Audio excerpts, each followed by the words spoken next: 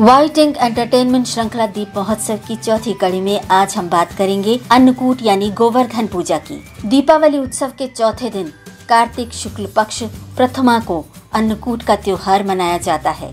इस पर्व को गोवर्धन पूजा के नाम से भी जाना जाता है। इस दिन गौ माता और भगवान श्री कृष्ण की पूजा करने का विधान है। पुराणों के अनुसार ये पर्व द्वापर युग में आरंभ हुआ था। इसी दिन भगवान श्री कृष्ण ने पके हुए अन्न, गोवर्धन और गायों की पूजा करके उन्हें भोग में लगाए थे। इसलिए इस दिन का नाम अन्नकूट और गोवर्धन पूजा पड़ा। इस दिन गोबर से गोवर्धन की आकृति बनाकर उसके समीप विराजमान कृष्ण के सम्मुख गाय और ग्वाल बालों की रोली, चावल, फूल, जल, मौली, दही और तेल का दीपक जलाकर पूजा और परिक्रमा की जाती है।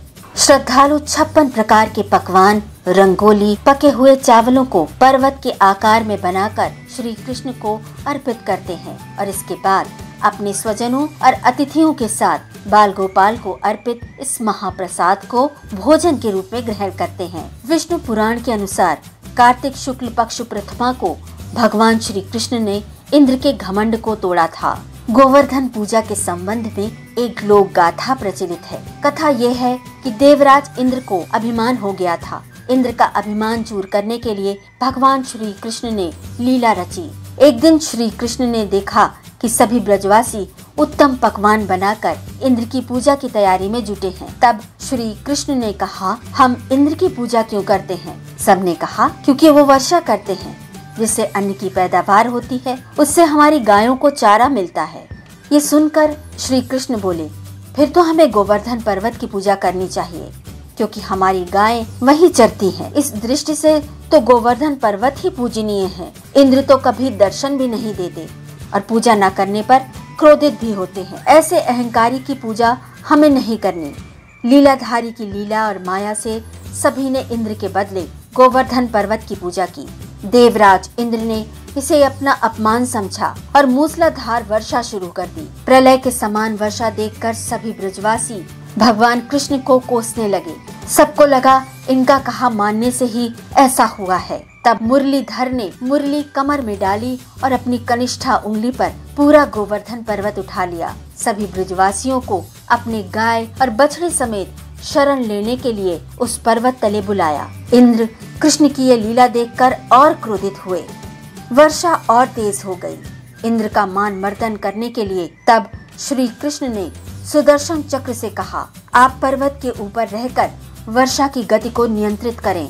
और शेषनाग से कहा, आप मेड़ बनाकर पानी को पर्वत की ओर आने से रोकें। इंद्र लगातार सात दिन तक मूसलाधार वर्षा करते रहे। तब उन्हें एहसास हुआ कि उनका मुकाबला करने वाला कोई आम मनुष्य नहीं है। वो ब्रह्मा जी के पास पहुँचे और उन्हें सब कह सुनाया। ब्रह्मा जी ने इंद्र से कहा, आप जिस कृष्ण की बात कर रहे हैं, वो भगवान विष्णु के अवतार हैं। पूर्ण पुरुषोत्तम नारायण हैं। ये सुनकर इंद्र को अपनी भूल का एहसास हुआ। उन्होंने श्री कृष्ण से कहा, प्रभु, मैं आपको पहचान न सका, इसलिए अहंकार वश भूल कर बैठा। आप दयालु हैं। मेरी भूल को क्षमा करें। इसके पश्चात देवराज इंद्र ने मुरलीधर की पूजा कर उन्हें भोग लगाया। इस पौराणिक घटना के बाद से ही गोवर्धन पूजा की जाने लगी। ब्रजवासी इस दिन गोवर्धन पर्वत की पूजा करते हैं। गाय बैल को स्नान कराकर उन्हें रंग लगाया जाता है। गुड़, चावल मिलाकर खिलाया जाता है। अन्नकूट पर्व मनाने से मनुष्य को लंबी आयु और आरोग्य की प्राप्ति होती है। साथ ही दारिद्र्य का नाश होकर मनुष्य जीवन पर्यंत सुखी और समृद्ध रहता है। ऐसा कहा जाता है।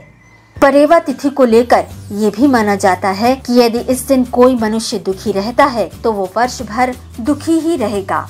इसलिए हर मनुष्य को इस दिन प्रसन्न होना चाहिए। इस त्योहार का भारतीय लोक जीवन में बहुत महत्व है। इस पर्व में प्रकृति के साथ मानव का सीधा संबंध दिखाई देता है। गोवर्धन पूजा में गोधन यानी गायों की पूजा की जाती है। शास्त्रों में बताया गया है कि गाय उसी तरह पवित्र होती है, जैसे नदियों में गंगा। गाय को देवी लक्ष्मी का स्वरूप भी कहा गया है। देवी लक्ष्मी जिस प्रकार सुख समृद्धि प्रदान करती है, उसी तरह गौ माता भी अपने दूध से स्वास्थ्य रूपी धन प्रदान करती है। वेदों में इस दिन वरुण, इंद्र, अग्नि आदि देवताओं की पूजा का भी विधान है। भारतवर्ष के कुछ स्थानों पर गाय के गोबर से बनने वाले गोवर्धन को मनुष्याकार दिया जाता है और उसे पुष्पों, लताओं से सजाया जाता है।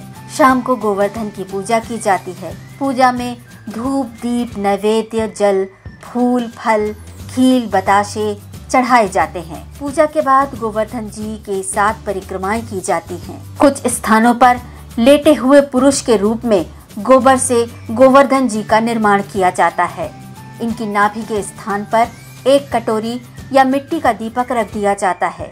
फिर इसमें दूध, दही, गंगा जल, शहद, बताशे जैसी चीज़ें पूजा करते समय डाल दिए जाते हैं। और बाद में इसे प्रसाद के रूप में बांट देते हैं। इस दिन कुछ स्थानों पर संध्या के समय दैत्यराज बलि का पूजन भी किया जाता है। कहीं कहीं पर दस्तकार और कल कारखानों में कार्य करने वाले कारीगर भगवान विश्वकर्मा की पूजा भी करते हैं। इस दिन सभी कल कारखाने पूर्णता बंद ही रहते हैं। घर पर कुटीर उद्योग चलाने वाले कारीगर भी काम नहीं करते। भगवान विश्वकर्मा और मशीनों के साथ साथ उपकरणों का दोपहर के समय पूजन किया जाता है।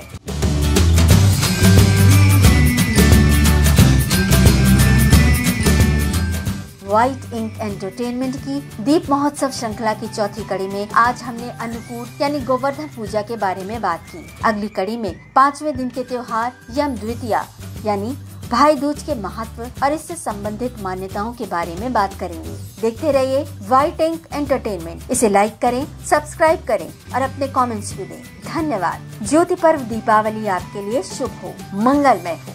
हैप्पी दिवाली।